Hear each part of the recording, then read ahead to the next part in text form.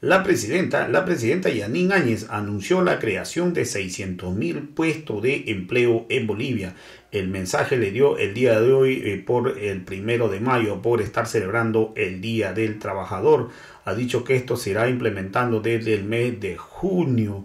Y hoy creo que la autonombrada, eh, en realidad, yo pienso que hoy lo más necesario es enfrentar la emergencia. Yo no sé quién está asesorando a Yanín Áñez pero considero de que en realidad este está fuera del contexto actual del cual vive Bolivia. Vamos a escuchar, vamos a escuchar esta conferencia de prensa que dio Yanín Áñez. El mejor homenaje a las familias trabajadoras en este primero de mayo es crear trabajo. Por eso hoy anuncio que he pedido a mi gabinete un plan amplio para crear empleo masivo a partir del mes de junio un plan que sirva de inicio a la recuperación económica que impulsaremos tras la crisis del virus. Ese plan se llamará el Plan Trabajo y tendrá como meta beneficiar a 600.000 personas de manera directa o indirecta. ¿Cómo crearemos empleo para beneficio directo o indirecto de 600.000 personas? En la construcción y en la manufactura. Construiremos obras públicas en tres áreas, en salud, en los barrios, en el campo. Me explico. Vamos a refaccionar, vamos a ampliar y vamos a habilitar toda la infraestructura básica de salud del país. Hospitales, postas, centros médicos y toda la infraestructura que se ha venido deteriorando al extremo que en muchos barrios y poblaciones es ya una infraestructura casi abandonada razón por la cual la gente no va a la posta para su primera atención, sino que va directamente al hospital, lo que tantas veces causa colas y saturación de hospitales. Esa tarea de refacción y ampliación de la infraestructura de salud significa mucho trabajo en obras de construcción. En otras palabras, en los próximos meses vamos a crear empleo construyendo e impulsando obras para la salud. Pero aparte de crear empleos haciendo obras en salud, Vamos a crear empleo mejorando los barrios que más necesitan ayuda en todo el país. Es decir, vamos a hacer obras en los barrios para tener vecindarios con empleo. ¿Qué obras haremos en los barrios para crear empleo? Haremos aceras, porque cuando hay aceras aprobadas se consolida la propiedad del terreno y las casas.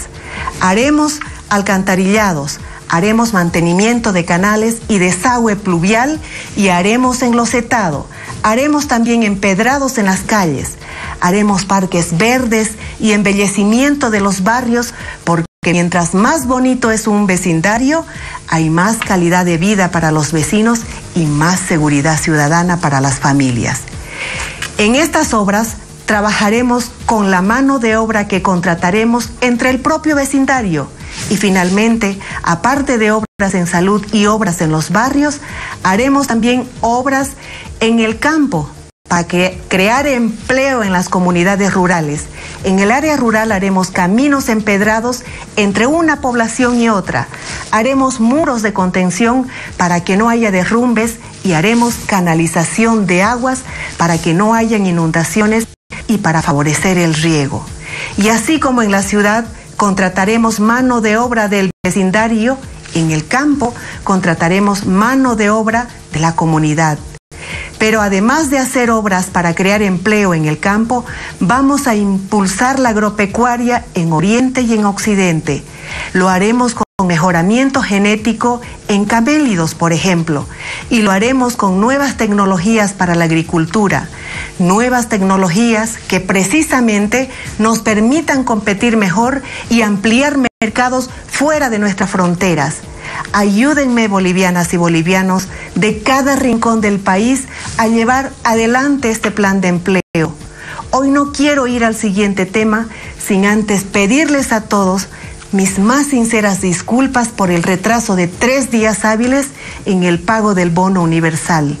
Les confieso como madre y como presidenta que para mí fue un gran disgusto y una enorme tristeza saber que por razones técnicas que escapan a mi voluntad se retrasaba ese pago por tres días hábiles.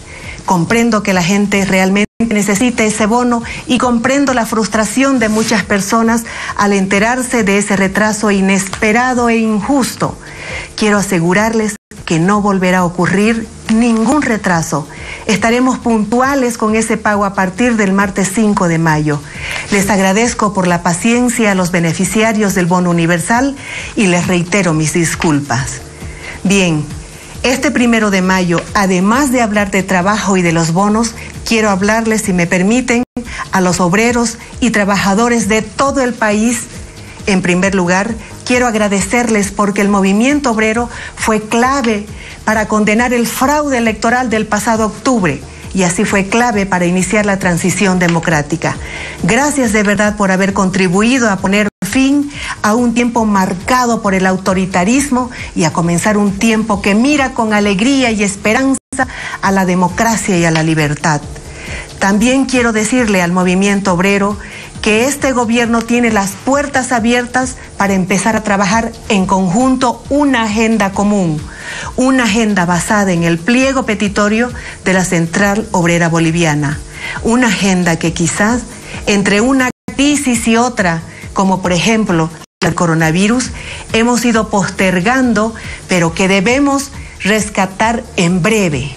Pero además de trabajar en esta agenda en base al pliego, quiero proponer a la Central Obrera Boliviana que tome parte activa el proyecto para reactivar la economía después de la crisis del coronavirus.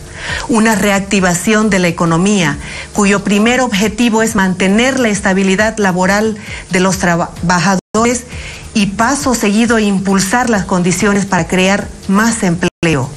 Con esos principios en mente, también quiero compartir con las trabajadoras y trabajadores de Bolivia el hecho de que todas las medidas que hemos adoptado en esta crisis han llevado el espíritu de las reivindicaciones históricas de la Central Obrera Boliviana, un espíritu que defiende la estabilidad laboral y por eso instruimos no despedir a ningún trabajador durante la crisis del virus y un espíritu que defiende la solidaridad del Estado para con los más necesitados y por eso hicimos los bonos de ayuda directa a las familias.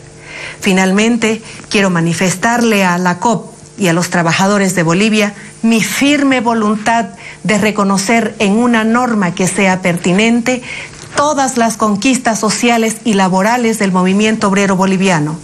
La modernización social, política y económica de Bolivia en gran parte es obra y sacrificio del movimiento obrero boliviano y este gobierno está profundamente agradecido a este movimiento obrero por la gran misión histórica de impulsar el país hacia adelante con trabajo y con la lucha sindical. Finalmente, queridos compatriotas, en este primero de mayo, tan marcado por la crisis del virus, quiero recordar junto a ustedes que este gobierno tiene las ideas claras. Tenemos dos misiones, la salud de los bolivianos y la economía de las familias bolivianas. Seguiremos trabajando con unidad, con fe y sin descansos por estas dos misiones. Mi homenaje a las trabajadoras y a los trabajadores de Bolivia.